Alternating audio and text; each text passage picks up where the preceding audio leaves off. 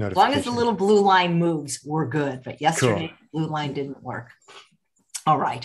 Hey, everyone, and welcome to Chef AJ Live. I'm your host, Chef AJ, and this is where I introduce you to amazing people like you who are doing great things in the world that I think you should know about. Today, we're going to talk to you about how to get healthy fast by fasting. We're talking about therapeutic water only fasting that's medically supervised. And a wonderful person that can help you do that is named Dr. Nathan Gershfeld.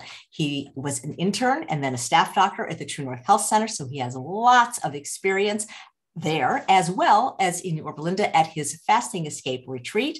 Please welcome him to the show. Good to see you, Dr. Gershfeld. Good to see you, Chef AJ. And uh, I understand you're you've now moved uh, and you're I, you're a little further away from us now and that is why I apologize to you for being a few minutes late. I did not get recognized in my community, but Bailey did apparently. And so somebody recognized Bailey from YouTube, and then they looked up the leash and goes, "Oh, you're Chef AJ." So I didn't want to be rude to the neighbors. Yet I'm, I'm living in Northern California, and I love it. It's a, it, you know, it's it's you live in one place a long time, you forget there's other parts of the world.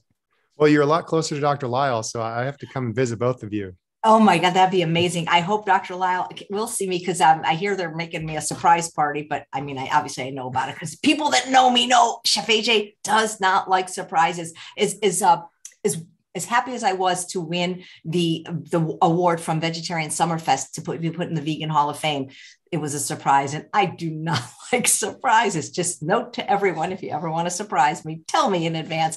But anyway, hey, I don't know if you'll come up. Will you come up for the Chef AJ party that's uh, happening? Of course, I just have to know when it is, and I, am gonna, I'm gonna invite you because I'm hoping I'm hoping Dr. Lisle will come and I'll say, hey, but you know, Dr. Gershfeld well, is coming, so yeah, maybe I can stop by Dr. Lisle's house and then drag him drag him along with his. That would be amazing. Cat. I know that he's an introvert, but it's it's anyway. It's it's, it's my first vegan party. But anyway, you know, fasting is such a, you know, it, it's really gained a lot of popularity just in the last ten years since I first heard about it. Yeah, I was actually uh, recently in Florida just visiting and I pulled up to the gas station to, fill up my rental car. And you know, in the gas stations, they have the little flat screens that have commercials. And I start hearing this commercial about fasting, intermittent fasting, and whatnot. And I thought, oh my God, like nine years ago, 10 years ago, when I first got into practice, uh, I it was like I was talking about fasting, you know, when I was graduating school, and they're like, "What are you doing? This is crazy. You're going up to work at True North and interning at True North. What a waste of time." And uh, and and now it's like now on TVs, and patients are calling me all the time, asking me, about this type of fast or that type of fast for this type of condition. And now it's it's just a lot more mainstream. And a lot of the credit, I think, goes to the the excellent job that Dr. Goldhamer did and the Natural Hygiene Society with the the uh, National Health Association that they did kind of pushing this information out. Dr. Goldhamer, you know, does these Rich Roll interviews, the the podcasts, and you know, he's been such a wonderful spokesperson on this and has been doing it so long that now it's, it's just all over the all over the news. Um, I think the the GQ magazine that had come out uh, all the different podcasts. This is, I mean, it's really brought fasting to the forefront.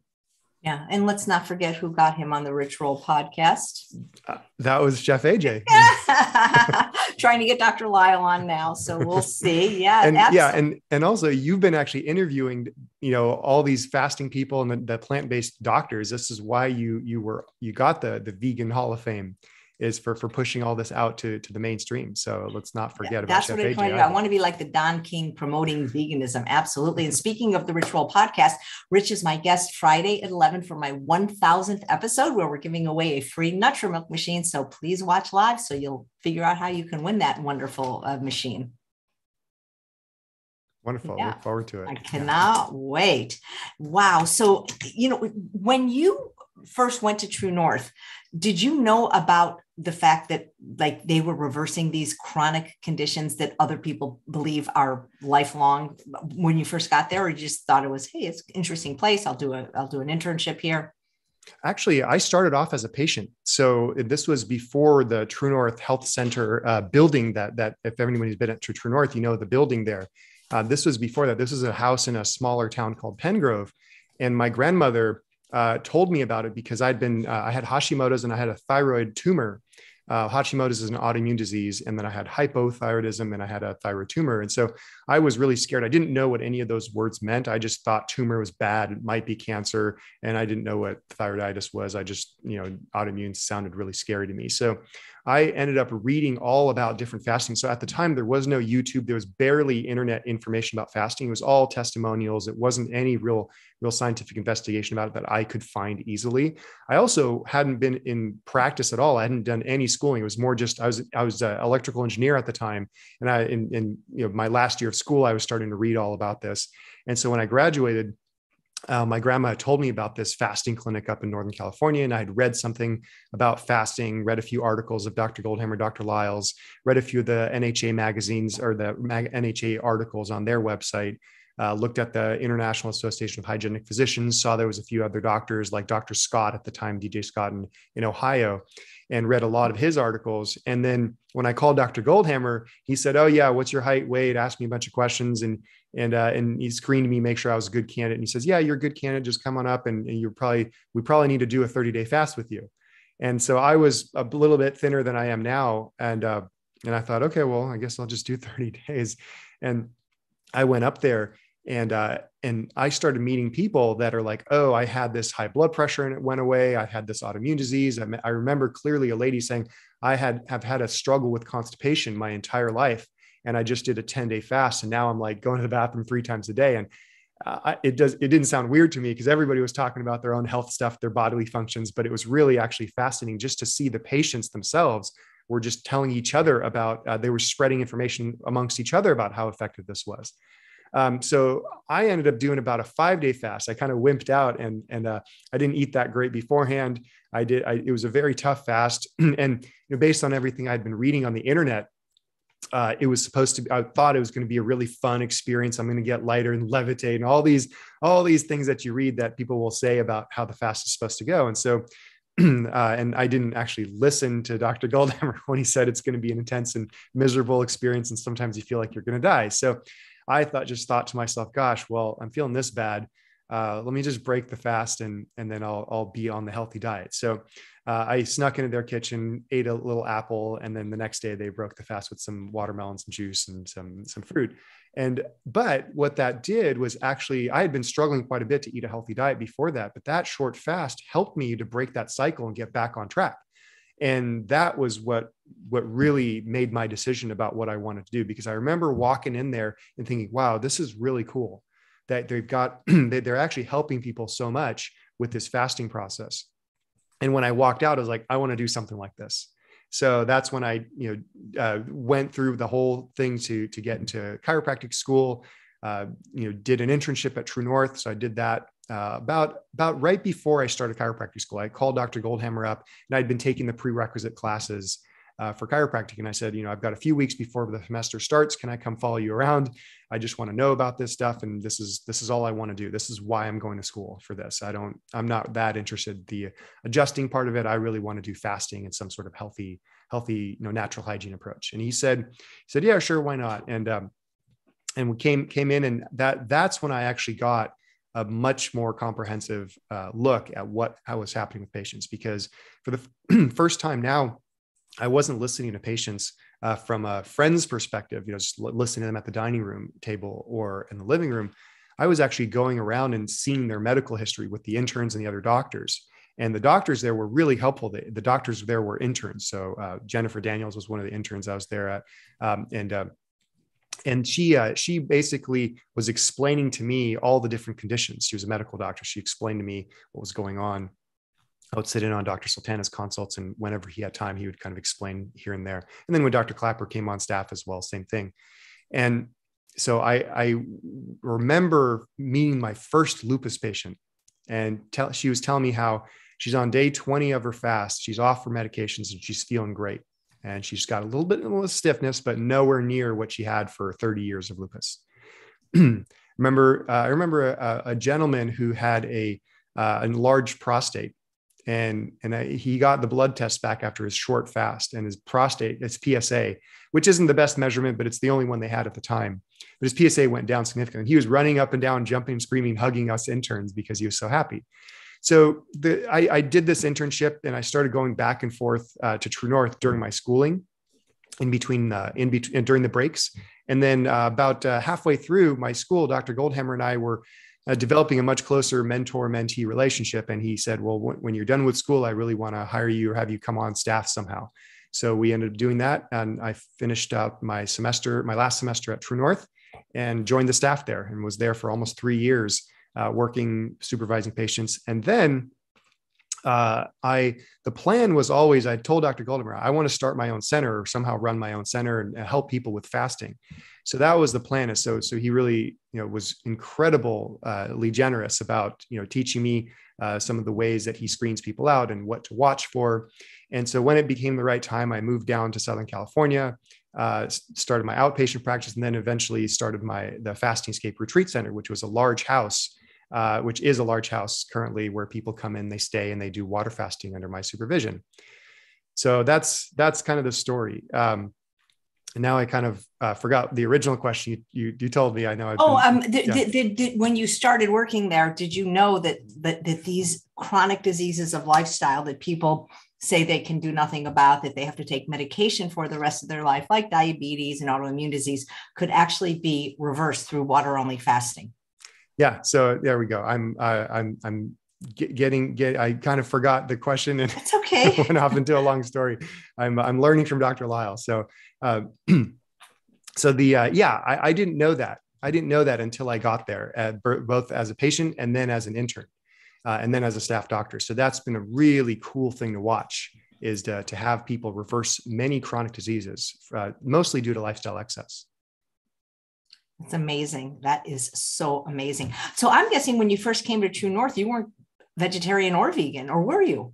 I was when I first got my diagnosis of what was going on I think My grandmother uh, was very was pushing me, uh, saying, "You got to stop eating animal products. You've got to stop eating junk food." Was really the main thing, and really the only way I was eating, you know, animal products was through junk food means. So it's not like I was you know catching some some animal food steaming it you know putting it on top of steamed vegetables or whatnot. No it was like burgers and fries and things like that. So so for me cutting out the animal foods cut out all the processed foods. And what was left was you know a plant-based or at that point it was a vegan diet.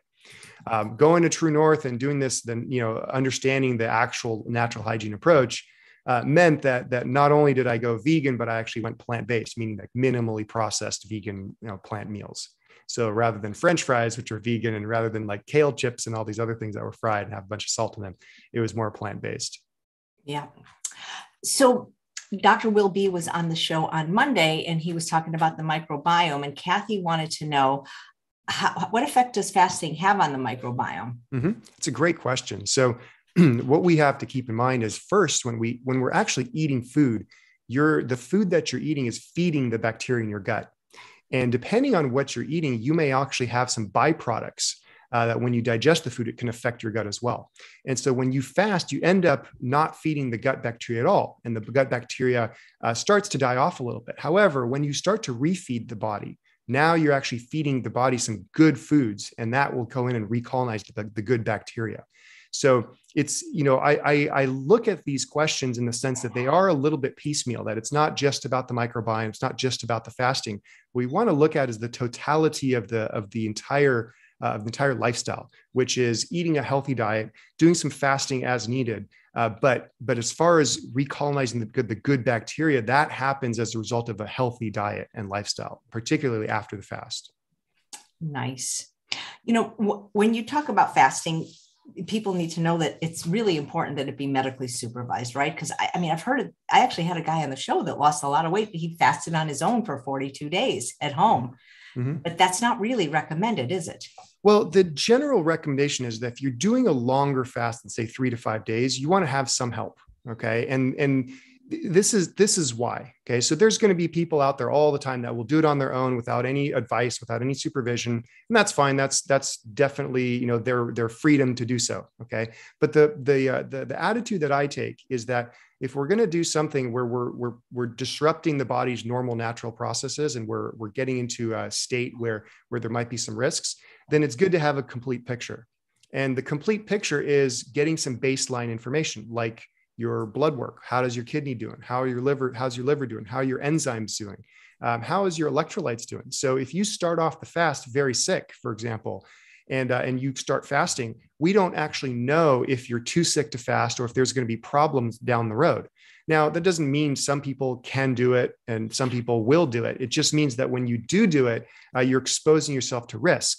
And so the risks are not like like you know it's not like uh, it's not like you're you're exposing yourself to risk like if you are rollerblading and you don't have you know elbow pads. It's like rollerblading and you don't have a helmet that if you do fall you're going to really hurt yourself. And so it, you know the main risks for for kind of flying blind is you don't know when things are going right and you should keep pushing yourself through the fast you, or you don't know when things are going wrong and that it feels bad and you should actually stop the fast. So it just gives us more information when we do it on a supervised way.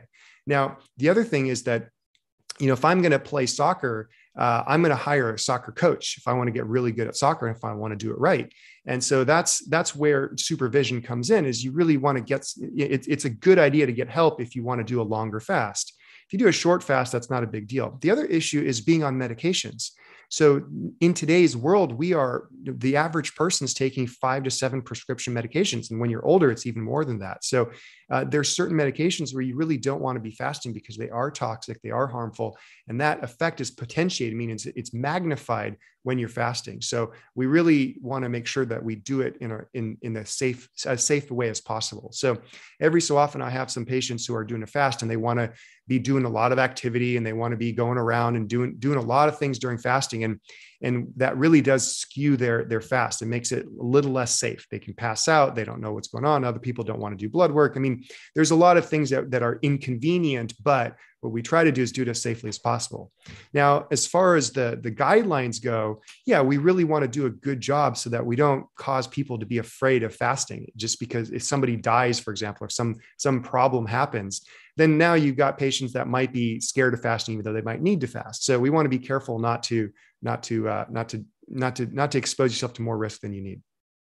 Absolutely. So there are some people that just shouldn't fast. They need to know mm-hmm. that mm-hmm. who they are Right. So the, the the main kind of general gist of it is if you fear fasting, if you don't want to fast, you think that something's going to go wrong. That's the main indicator you shouldn't be fasting.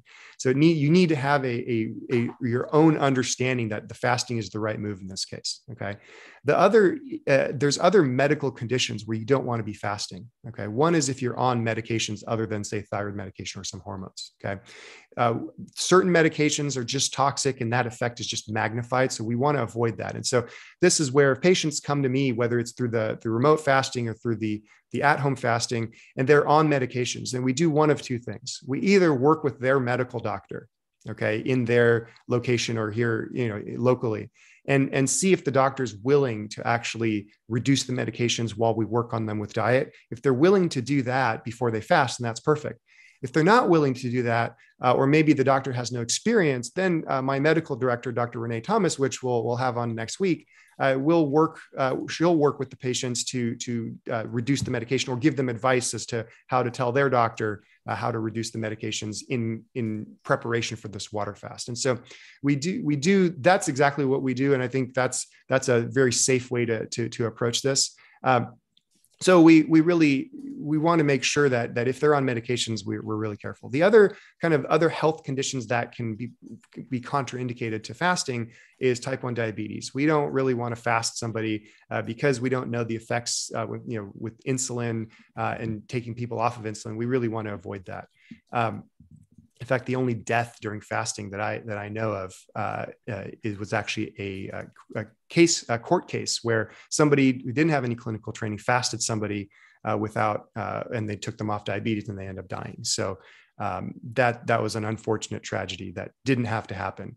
Um, the other uh, kind of conditions could be things like arrhythmias, heart heart um, heart arrhythmias, where your uh, beats not uh, where your heart rate's not regular. So there's a few other conditions there, but kidney, you know, extreme kidney failure, so chronic kidney failure uh, could be a contraindication to fasting as well. So, but in any of those cases, we might not necessarily do water fasting. We might do some juice fasting or some broth or some combination of healthy food uh, or or broth and water and, and juice. But type 1 diabetics cannot fast, correct? Correct. Correct. Yeah. If you're type 1 diabetic, the, the best thing you can do is to uh, visit masteringdiabetes.org and, uh, and, and do Robby and Cyrus's program. And that's a really excellent like coaching service to, to help you learn what it is that you need to do to, to improve your blood sugar control.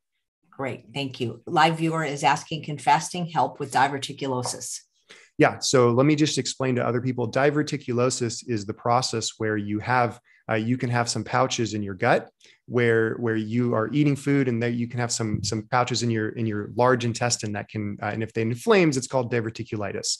So our main strategy for for fasting is we're actually trying to get the body to heal itself okay and do it without any uh, impedance Okay, so so without the without having to be bogged down by digestion. So yeah, what we our strategy for diverticulosis is to eat a very clean diet. Maybe raw foods wouldn't be that that would be too painful, uh, but we eat some really well steamed vegetables, and we uh, we do this in, in, to begin a fast. We do a short fast, maybe a long fast, depending on what other issues are going on, and then we resume the the resume the healthy diet. So it's a very simple approach uh, to to to treating these types of things. Now uh, again, fasting is not a cure for diverticulosis. It's not a cure for anything. What it is, it's a management strategy where we're letting the body take over and we're really following the body's advice. Is essentially what the body's telling us, which is sometimes we just need to take a big break.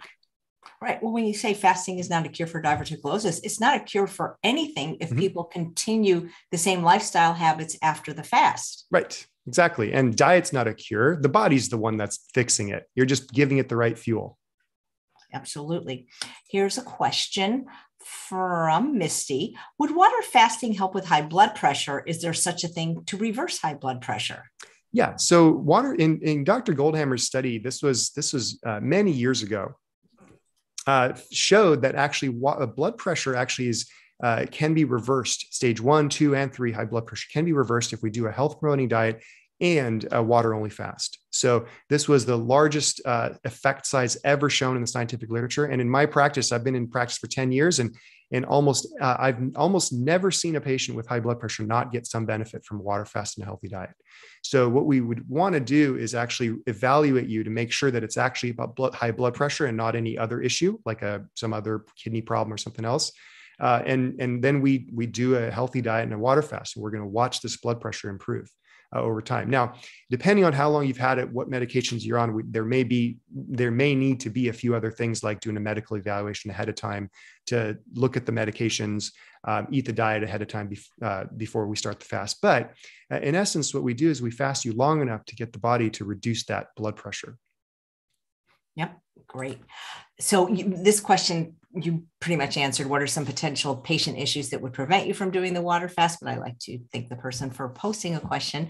And cindy says i did a 23 day water fast. My numbers were excellent blood pressure blood sugar. However within two weeks of stopping the fast even though i ate mostly whole food plant based and no sos all the numbers increased again and the weight came back on. How do you maintain after a fast? I want to know what mostly means that, that's a really good question. And that's exactly where my mind went because uh, it's, it, this is not an accusation at all for, for, for this lady, is it Misty who asked that question? Huh? Um, it's that, that we don't actually know what mostly means. Okay. Mostly for one person can mean mostly for most completely something different for somebody else. Okay. However, after a fast, your body's pretty sensitive. Okay. So you can actually, if you add in, uh, you know, some salt in your body, the blood pressure can go up. Okay. If you add in some processed refined foods or some animal products right after a fast, your blood sugars can go up. When you fast, your insulin levels are lower. And so if you add in some processed foods right after you break a fast, your blood sugar is going to go up. Okay. You're also going to, you, when you do a water fast, you actually are losing extra water from the extra salt that you had before the fast. And so you put in some salt in your diet right after the water fast, you're going to gain some weight, some sometimes five or six pounds. In fact, that's one of the ways I know when I'm talking to people on the the um, on the phone is when they finish fasting and I you know I, I, I advise them you know don't put any salt in your diet you know f- for for a while, and then the next day we check their vitals and all of a sudden their their weight has shot up two pounds in one day. And it's like, okay, what did you add to your diet? Oh, just a little bit of salt. Okay, so there we go. Now your body has retained more water than normal because you've added in something right after this fast. So, so here's how we get back on track. Okay. In general, I've been finding that that if you're completely off track, you might need to do a water fast. But if you just did a fast and you don't want to do another one, and you're you've been kind of mostly plant based, I would actually start, you know, make a plan to go fully plant based okay, for the next, say, 10 meals whenever you start. Okay. You might be 10 meals away from being back on track. And we will actually start to see these numbers increase or improve uh, after just these 10 meals. Okay. That's, that's our strategy to this. But sticking on this diet is, is make no mistake, it's the most difficult thing anybody can do. I, I've had many patients who have lots of time, lots of resources, lots of motivation, and they still struggle because what we have is an unnatural process called the pleasure trap, where you're, you're, there's a mismatch between your brain and the environment. Okay. You're not designed to be living in proximity to all this fast food and then expect to not go after it. Okay. So you're, you're going to be naturally, normally craving and being around these types of things. And it's, it's like an alcoholic that, that gets sober for a year and a half and then starts working as a bar hop. Okay, we know in principle it's only a matter of time before they have a bad day, they have a breakup, they got bad traffic, they're stressed, and then all of a sudden now they got some cravings sneaking in. Okay. Now, if somebody did make it through that experience and they didn't have any alcohol at all, what we would tell them is, wow, that's surprising. Okay, that's really cool. That's really impressive. Okay. But normally we wouldn't expect somebody to be in proximity to all these things. So that's why one of the number one things I tell to people when they're done fasting, especially on the remote fasting program, is what Chef AJ says. If it's in your house, it's in your mouth. So you've got to clean up your environment to give yourself the best chance possible to to improve uh, your your overall lifestyle after the fast. Yeah, thank you. Here here's a good question. I've never heard it phrased this way before from Liz. What are the principles behind water fasting? How does it work? And I, I how does it work really? Yeah.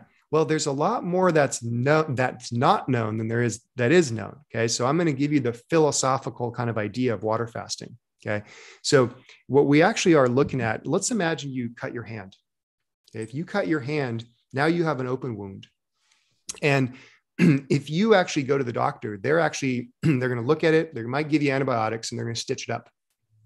Okay. And when they stitch it up, they're going to tell you to go home, rest it, don't move it, and let it heal on its own. Okay. Now, if you go and you actually irritate it, then now they're gonna you're gonna be creating an obstacle to your body to heal itself, and you have to go back every time you do that, and they're gonna have to restitch it up and maybe put more antibiotics on it.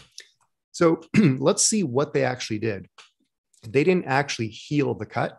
They simply set up the right conditions so that your body can heal itself. Okay. And this is what we recognize with the body is your body can heal itself of almost everything if we give it the right conditions. Okay. So, and now if you create obstacles in that conditions, if you irritate it, now it's going to have problems. Okay. So now let's look at what the, the standard American diet or the standard, you know, first world diet would be. Okay. It's high in animal foods. It's high in oils, animal products, refined products, uh, processed foods, refined carbohydrates. It's got low exercise, low sunlight, too much stress in terms of conflicts of interests, uh, and it's got alcohol, caffeine, salt, sugar, oil, flour, dairy products. Okay.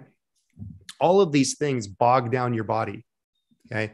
And prevent it. It's an obstacle for your body to heal as quickly as it needs to be.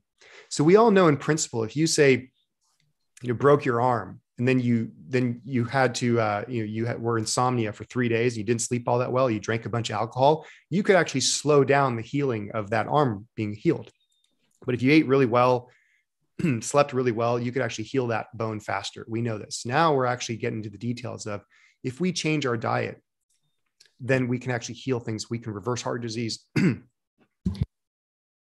Sorry about that. We can reverse heart disease. We can reverse many other diseases. So, where fasting comes in,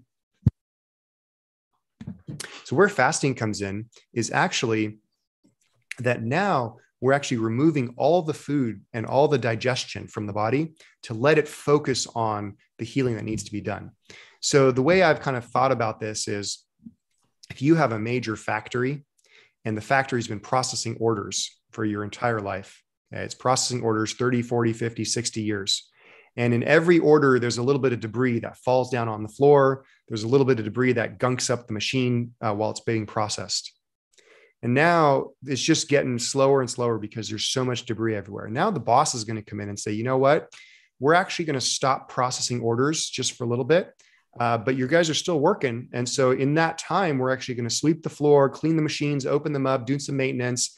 And then when you do all that, now we start processing orders. And it's a lot more efficient.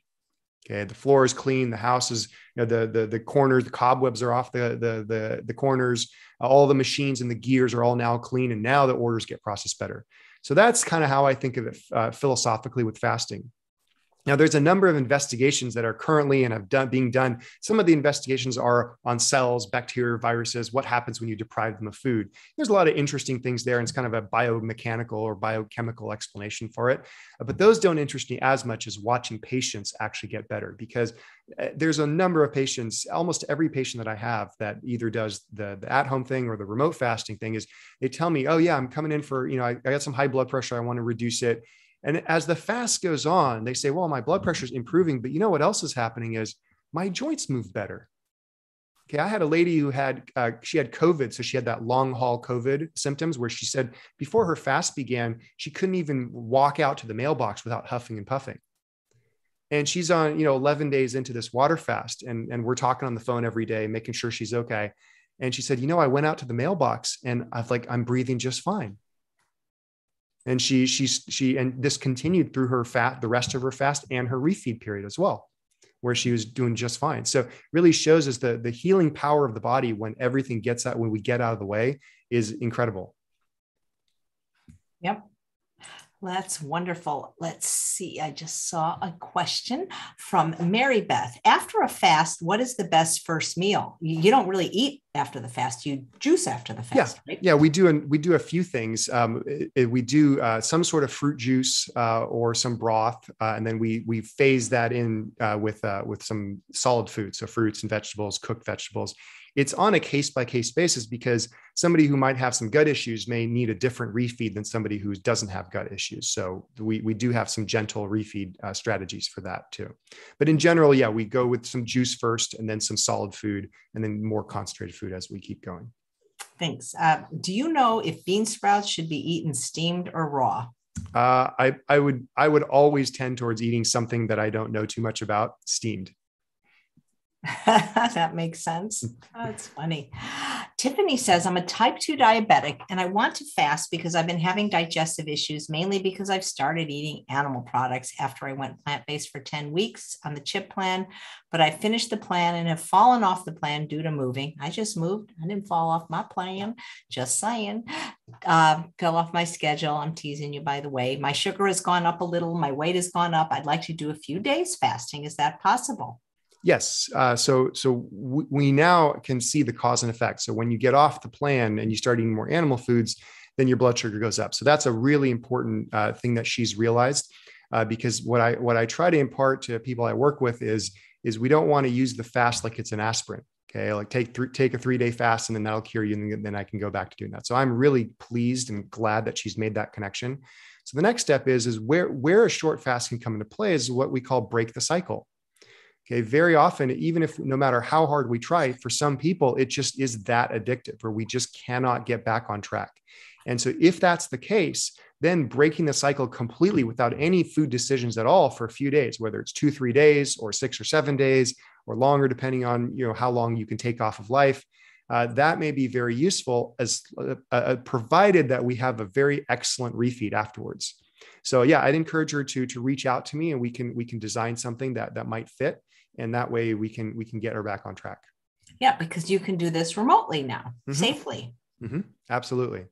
Nice. Hey you know i forgot to tell you i wore these earrings just for you. I don't know if you can tell what this is but it's the chemical symbol of something that you know a lot about. Let me uh here, let, me take the earring maybe off. it's water? I don't know. No it's actually not water. I can't see it at all. Shoot. Okay let's see. Yeah that okay. looks like an organic chemistry figure of something. I don't know. Is it an amino acid? I, I actually it's have dopamine. Somebody, my friend Tim gave me dopamine earrings. Isn't that cool? That's I love that. yeah, because you know that's a that's kind of like the principle behind the pleasure trap, isn't it? Oh yeah, yeah, and that's this is this is going to be uh, that's going to be key for people. Yeah, absolutely. I think I think I think learning about the pleasure trap I think is the most important thing for everyone that has a chronic or even you know not a chronic condition but that struggles with right. eating and weight and and and, and disease. Right, right, and it's great because th- I mean this is also why with my remote fasting thing we're, we're actually doing classes you know once twice a week of different different topics so people are, don't just have to do the fast and they're, they're thrust in the world afterwards. So. Yep. Okay. Uh, I think there's somebody that doesn't understand that fasting is just water only because they're asking, do you recommend electrolytes during a fast? Yeah. So in general, we we want to do a fast where it's a pure water fast, unless we modify it with a whole plant food like a juice or a broth. Okay. And here's the reason. Your body's a very complex organism. And the minute we start adding in one thing, then the other thing, we got it, we end up chasing electrolytes. So if you're fasting and for example, you start adding salt, well, then now maybe your body needs more potassium, and then you add in potassium. Well, maybe it now needs more magnesium, and now maybe it needs more more phosphorus. And so you end up chasing these electrolytes around, and just even in a hospital setting, uh, it's very difficult to manage uh, because things happen very quickly. And so it's a lot easier to do water fasting only uh, when you're doing it. And then if you need to modify it, we do it with a whole food like like juice. So that's our preference. The other thing to keep in mind is we're really trying to do it as safely as possible. So you might meet people, you might be, see some YouTubers out there that'll do a fast and they'll take salt or they'll exercise or whatever it is, and that's all fine. I, you know, again, people have the freedom to do whatever they want.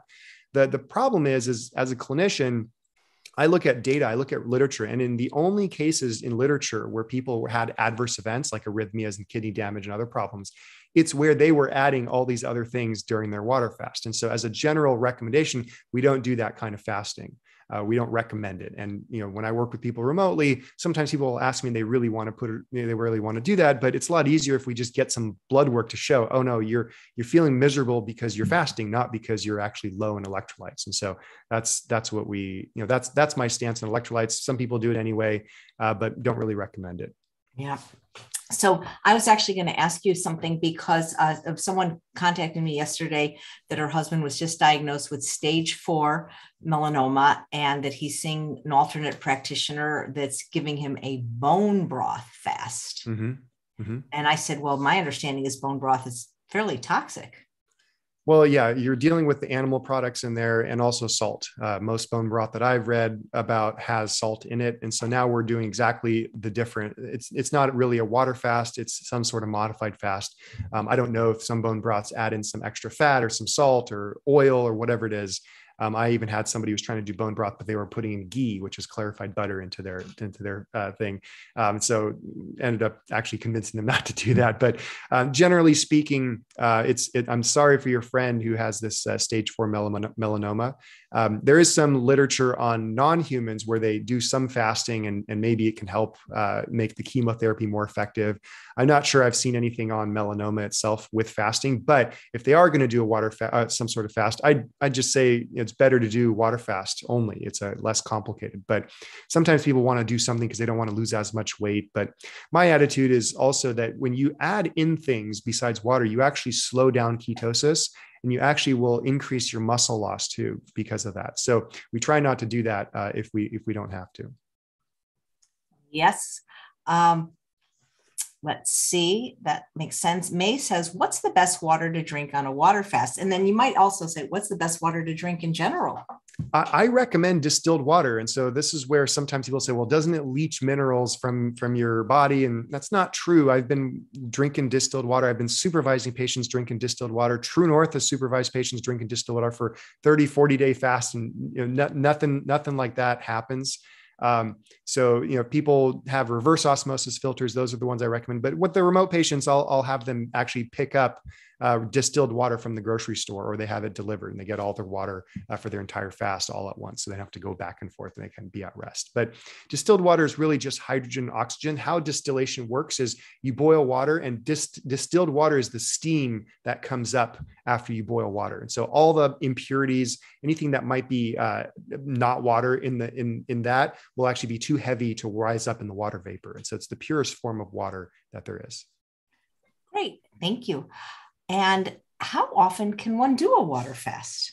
That is a good question. It's also on a case by case basis. So if we do a long fast with somebody, I just uh, recently uh, had a a, uh, a, few people who wanted to do a follow up fast. They did a fast, you know, three months ago. Another person did about six months ago. They want to do another fast because they're uh, they were still they they had to break the fast for work reasons, and then they they were able to stick on the diet, not so much, but you know, tried their best. Uh, but then they want to do another follow-up fast. So now what we want to do is evaluate them to see if that's going to that's going to be safe. So we get blood work done. Uh, we you know do some sort of examination, some consultation to make sure how they're feeling, uh, what length of fast they're going to do. Uh, but I'm kind of sensing in your question that maybe you're thinking that that oh is it good that you're you're hoping or wondering if I'm thinking oh is a 24 hour fast once a week or once a month helpful? Or maybe a three day fast every five uh, every three months or a 10 day fast once a season whatever it is. So I've actually heard things like that and I've seen people try this. I don't actually have an official position on it because I think it's really dependent on what the person's doing in their life Okay. So let's actually go from one extreme to the other. Okay. On one extreme, we have someone like Chef AJ, Dr. Goldhamer, or, uh, or somebody who's really doing a very excellent job with their diet. Okay. And so we're going to expect that they're not going to have too many reasons to do a water fast other than just maybe they get run down, they need to do, do a rest, which they could in, in principle do without water fasting. But let's suppose now they want to do a water fast once a year. Totally fine. No big deal either way. Now, on one extreme, we might, on the other extreme, we might have somebody that eats fast food all the time, doesn't exercise, is several, you know, dozen pounds overweight, is on multiple medications. And now they're they're considering, well, what should I do as far as fasting? Okay. And the answer would actually be to, to slowly change your lifestyle or rapidly change your lifestyle, whatever can, can happen and then incorporate fasting in there maybe as a tool to help keep you on track. So for example sometimes it can help that if you get do a fast get on track and now just your lifestyle your taste buds everything just starts you know three months later that starts to wane a little bit and you start to feel like oh gosh i'm craving the other stuff and all the, the, the bland food or the food without so much so much salt in it is tasting kind of bland well, then it might make sense to do another fast in three to six months, where now you kind of get another rest and reboot. Uh, or maybe you actually do fall off the plan quite a bit. And so you do a periodic fast to get you back on track.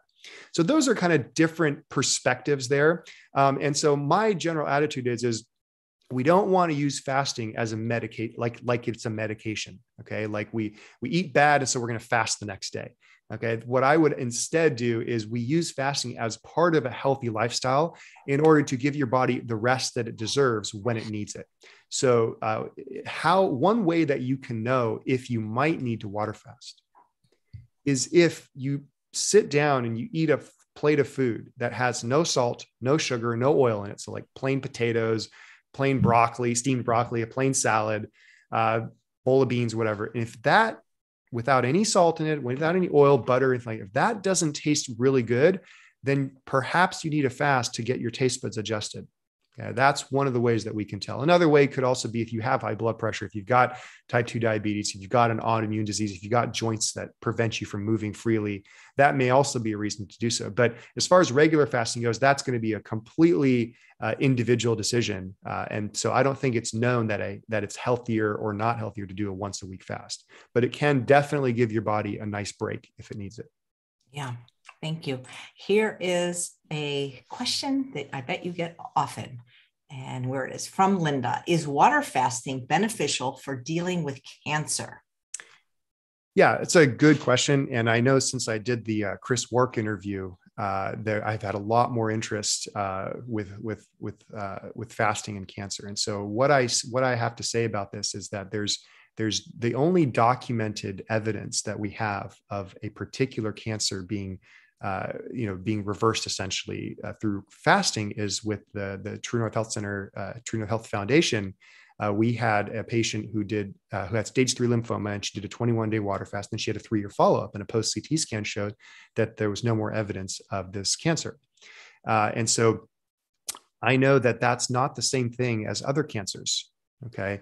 Um, however, that said, we do know that there's a few mechanisms of, can- of fasting that can affect certain tumor markers and certain growth factors. So, for example, we know that a factor called insulin like growth factor does uh, when it's higher, uh, tumor growth actually increases, and that we know now that that uh, marker goes down when uh, when when you fast, both during and after a fast.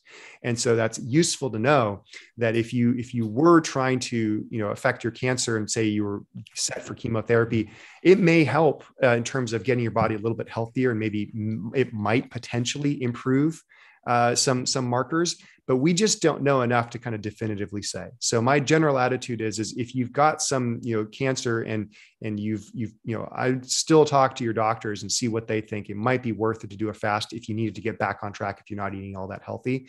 But it's really early to say that it can cure or even you know affect cancer positively. Um, i know i recently had a lady who um, she was actually stuck in canada because of the all the lockdowns last this was about a year or so a year and a half or so, um, and she had lymphoma. And she was like, I, I, I can't leave, and so I can't go to Fasting Escape or True North. So I need to do a fast. So I worked with her. We did a fast. She did an MRI after this fast, and her lymphoma got incredibly better. She didn't actually have enough time to do a long enough fast, but she got enormous result, you know, amazing results from this. Okay. I've had patients who had, you know, stage three, stage four prostate cancer and their PSA goes down. Okay. But that's not the same as cancer getting cured or cancer getting improved because there really isn't a lot of data on there. But we do know that certain tumor markers do improve uh, with, uh, with fasting. Nice. Uh, Mary Beth says, How much water per day does one drink on a water fast? Yeah, it varies somewhere between half to a full gallon of water per day, and sometimes a little bit more if, if someone gets really, really thirsty. But we try to keep it as a minimum of half a gallon. Wow. Cool. All right. I saw something here. Oh, from Struthel. Water fasting COVID, yay or nay? Uh, question is is the question uh, is it during COVID or after you get COVID? I guess that's what I want to know. Now I had COVID in December of 2020, um, and I first thought it was just I was just getting sick because I you know, I wasn't eating all that great for a few days, and I thought I was just you know getting sick from that. But turns out I had COVID and I lost my sense of taste and smell. But I fasted for five days when I had the co- when I had COVID, had a high fever. So um, my general attitude is if you get sick and you don't feel like eating, don't force yourself to eat. Uh, but if you have, if you had COVID before and now you have symptoms because of that, uh, perhaps I, have been seeing patients uh, call me up for that. And as a side thing, we do fasting and their symptoms do improve. Nice. So here's a comment by, where did it go? By, I, I can't see. Tr- tried and true. I thought Dr. Greger says over fasting slows metabolism long term. Does it? Uh, yeah, I think so. Uh, I don't know long term.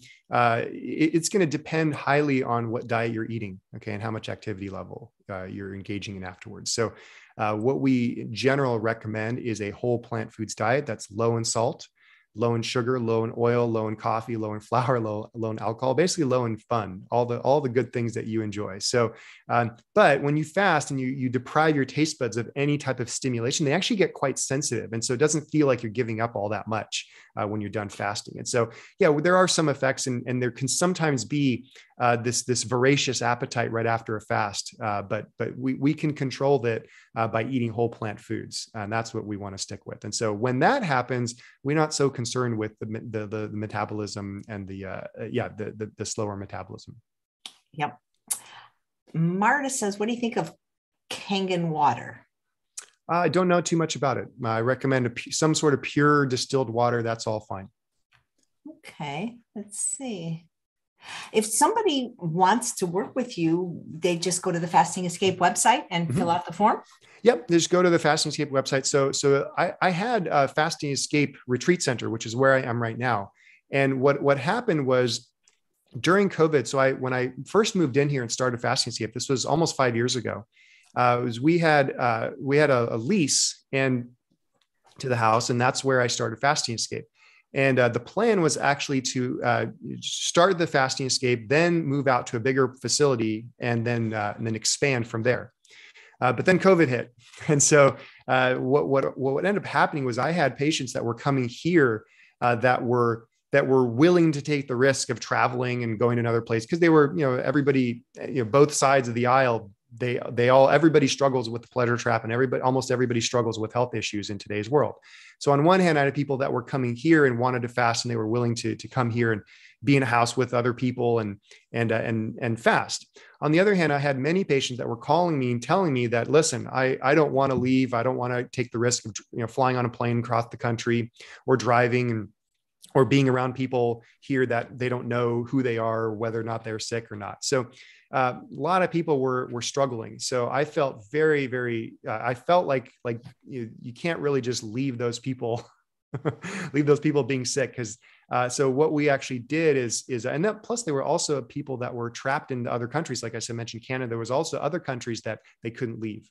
Um, and so, so they called me up and, and we started doing this remote fasting just to see what it was like and see how people did. And people have been doing great. One of the, the number one comments that people have told me is that when they do the refeed at home, they actually love it because they actually get the hands-on practice after the fast. And so when they're done fasting, they now have the habits, they're, they're kind of got that momentum going. And, and this was people that had come here to Fasting Escape before and they tried the fasting program at home. And they said that they would come home after their fast and they're like, okay, now what? Like uh, now I'm at an empty fridge, empty house, and I don't know. They just don't have the momentum. But when we'd work with them after the fast to do the refeed, now they're they're telling me that, oh yeah, if I did it when I was tired after not eating, I can do it anytime.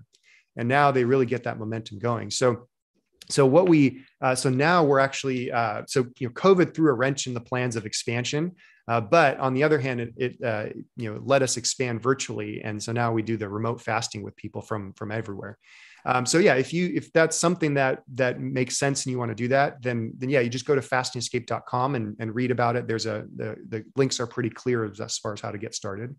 Um, and some people have actually done it uh, in an Airbnb. So I've got I've got uh, people that will tell me that they, there's no way they can do it at home because they got kids running around, you know, mother-in-law, father-in-law, wife, husband, whatever. So they actually book an Airbnb in their neighborhood so they can at least, you know, their husband or wife can come visit them and they do that. They set everything up and then uh, then we're able to do this remote fast with them uh, very easily and the refeed you know what I was thinking? Because yesterday Dr. McDougall was on the show mm-hmm. and he's talking about how much he loves teaching his program uh, virtually now mm-hmm. and that he really doesn't want to go back to in person because it really helps his patients because mm-hmm even though the in-person program was great that they had the food made for them they're actually learning how to do the food which is yep. going to be an important step when they get home but i was thinking with in-home fasting what stops a person from cheating because they're in their own environment you, you know like when you're yep. in like you're not you're the warden and they're kind of locked right. up but right. if you're in your own home wouldn't it be kind of easy to like if you got a craving to just kind of that's a really good question. And and this is where I didn't actually think the remote fasting would. I thought that I thought like you. I thought, well, you know what? I don't really want to do this remote fasting because I have no control over like here I can like snarl at them and they and they just know that I'm going to be mad if they go into the pantry. Okay. But but at home, there's there's complete freedom but it actually surprised me. And patients actually have been telling me, uh, participants have been telling me that just knowing that we're going to be talking every day is enough. And they lose their hunger within a couple of days. And just that accountability is just very helpful. It also, I feel it's like empowering. You know, one of the one of the principles that that I, I want to make, I want to help people become their own best doctors as much as they can and become self-reliant. And so if we they know that, listen, you know, I, am doing this fast and I'm I'm committed to it. And, and so we help them through that. Um, I've had exactly zero people sneak into their own pantry during a fast and break their fast.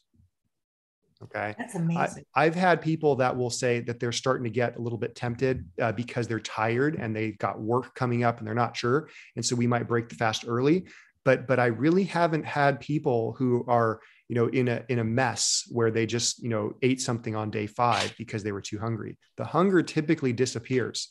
We also you know we're not just talking on day 1 we are talking a couple of days before the fast and also you know days or weeks out before the fast as well. And just you know one thing we actually like to do is a couple of days before the fast begins it's like okay you're going to clean out your whole pantry okay of all the junk food.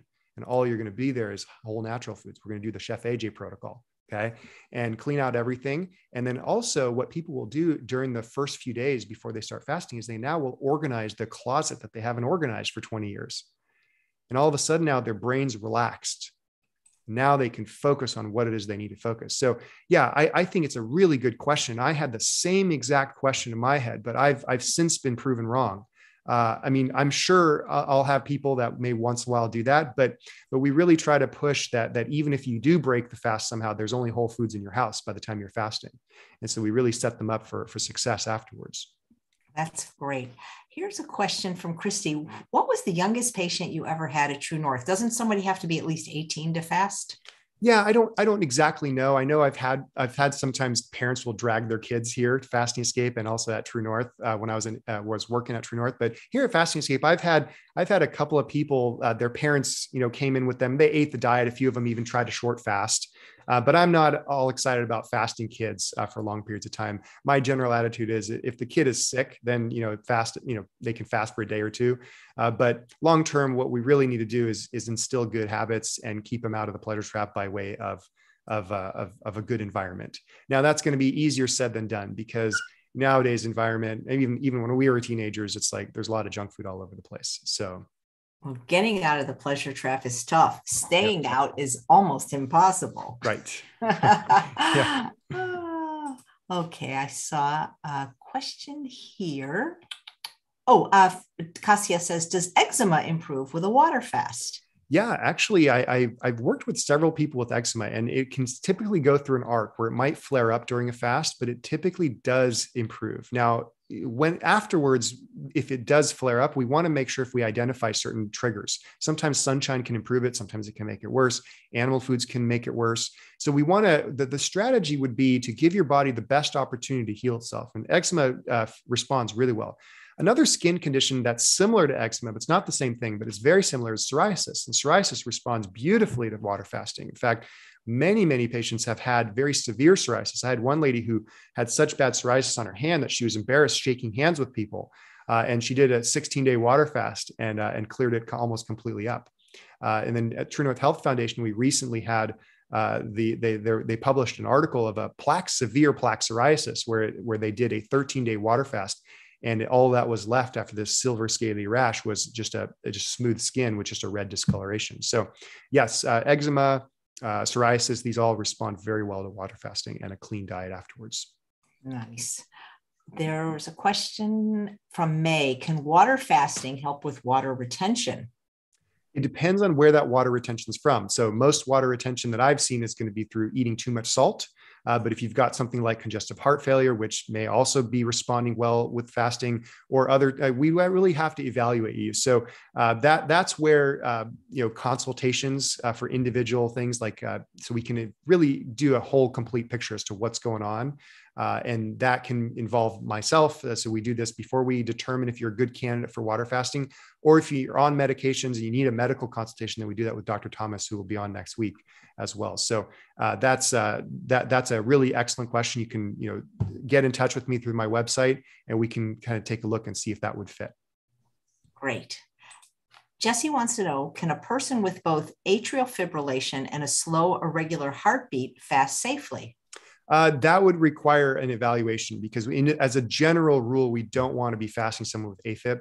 Uh, it's it we, there's too many things can go wrong during a fast. Your blood gets a little thicker. We don't want there to be an irregular heartbeat. But the patients that I've fasted with AFib, we've done a modified fast. So maybe like broth you know two broths a day and one juice for example. And that way we're not completely uh, disrupting the body's uh, body's ability. But we'd also want to take a look at what is the current diet looking like? Because i've also had a few patients with afib where they come in and they've been they're not, not been eating all that great but we feed them a diet of just salad and fruits and vegetables and starches. And i'm checking their pulse. And i remember this one clearly is the AFib was skipping 12 times a minute.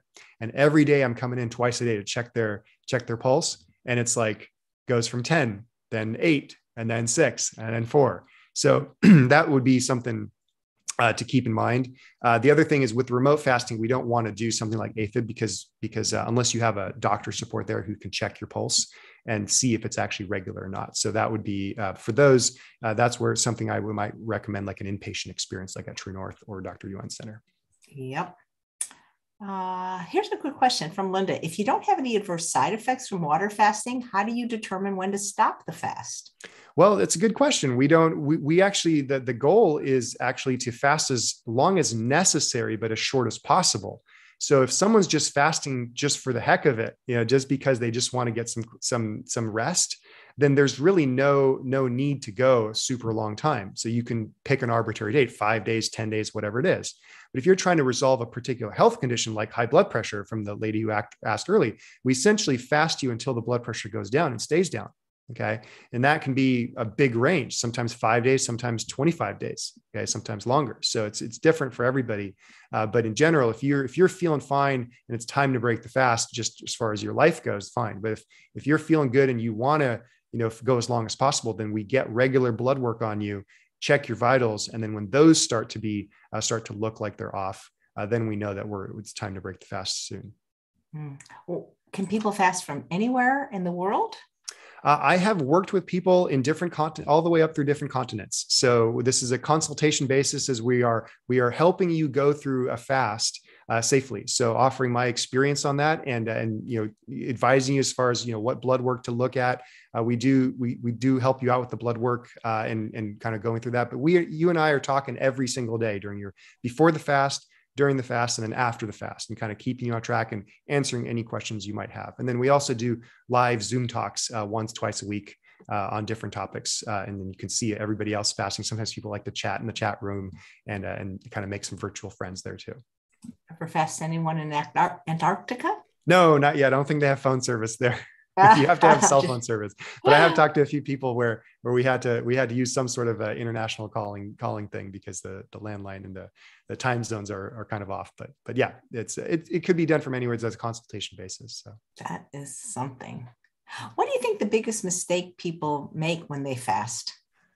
I think that there's too much activity going on sometimes. And I've seen this at True North, sometimes at Fasting Escape. Uh, it's a little smaller here at Fasting Escape, it's more intimate. So a lot of times people are just resting and, and they're not doing as much activity. But I do think that that uh, that one pitfall you can get into is that you feel really good. People feel oftentimes if they've been on medications, if they've had, you know, if they felt run down, they start to feel better during a fast and so they start to do a lot of activity. They finally get to they finally have the energy to go out walking. So they do a lot of activity a lot of energy expenditure.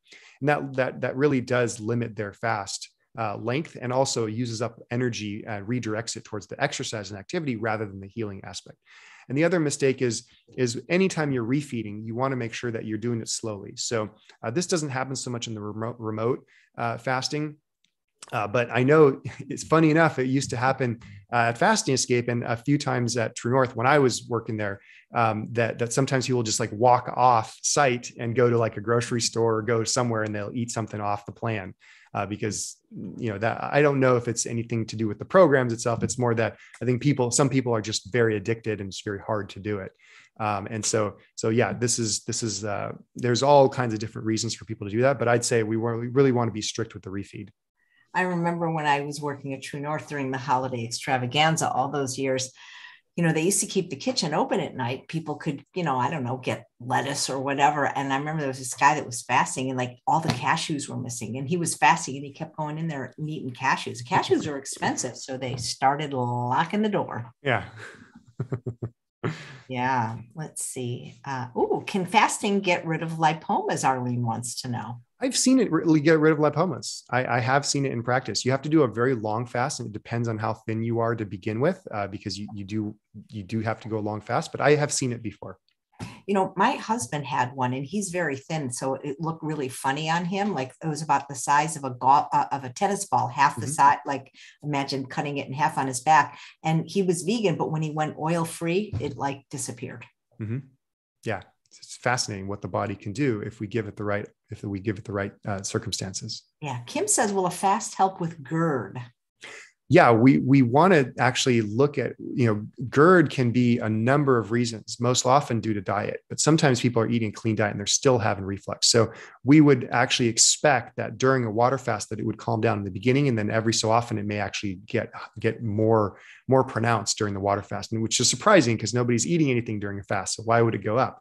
Um, so what it does, we just kind of give the body a complete break and then watch what happens. And usually after the fast, uh, it, it actually comes down quite a bit.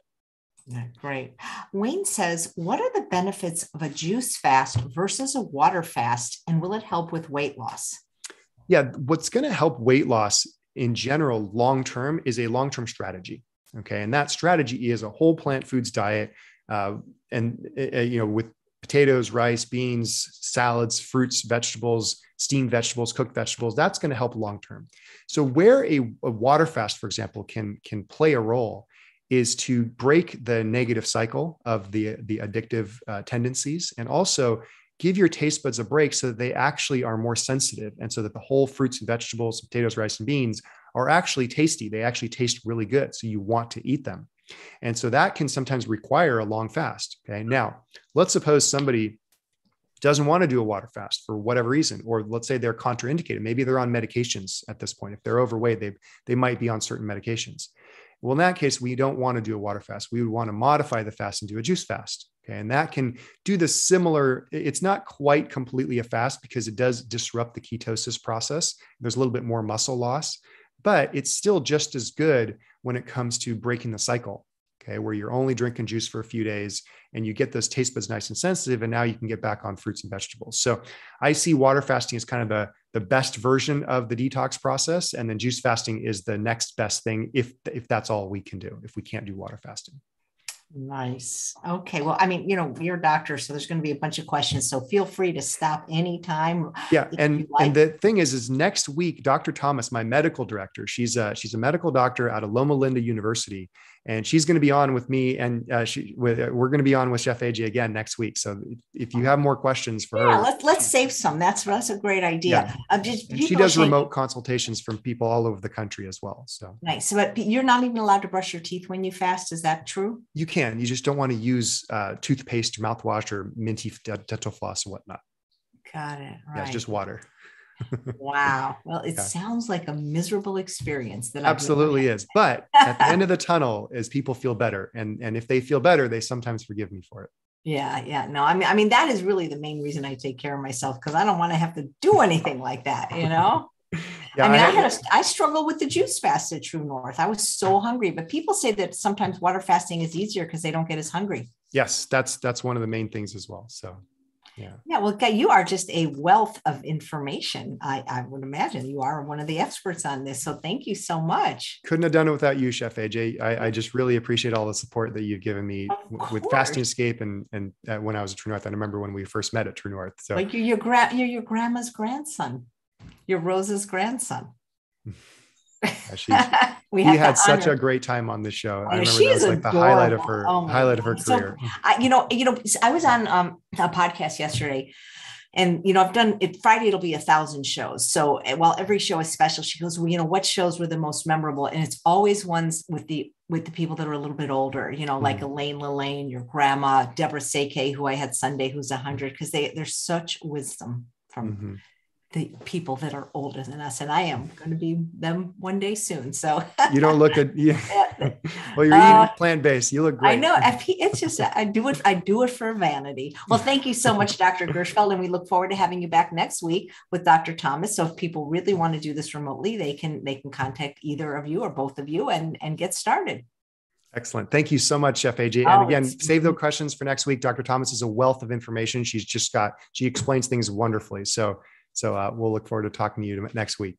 Perfect. Thank you. And thanks all of you for watching another episode of Chef AJ Live. Please come back tomorrow when we have a very fun cooking demo from Lauren Bernick of the Well Elephant. She's going to be making New York style Reuben sandwiches two ways, two ways, Dr. Gershfeld, meaning probably the regular vegan way and the way that Chef AJ would eat it, as what I'm guessing two ways is. All right. Take care. Bye, everybody. Thanks, everybody.